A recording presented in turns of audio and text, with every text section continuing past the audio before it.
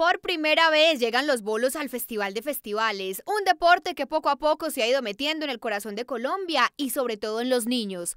Para esta primera edición del Baby Bolos llegaron 56 deportistas de cuatro departamentos de Colombia. Entonces para nosotros lo más importante es que el niño pues pueda cargar una bola y tenerla en su mano y ya con eso empezamos el proceso. El niño puede tener 7, 8 o 9 años para iniciar. El hecho es que en ese momento él pueda hacer un buen desplazamiento con la bola en la mano y poderla soltar libremente.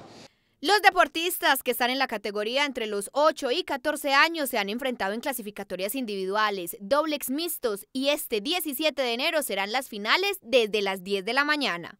Lo que queremos es implementar una escuela de bolo gratuita durante tres meses y el ánimo es precisamente generar como esa pasión y el amor por nuestro deporte y aprovechar también para decirle a los medios que estamos aquí listos para recibirlos porque queremos también darle visibilidad a nuestro deporte.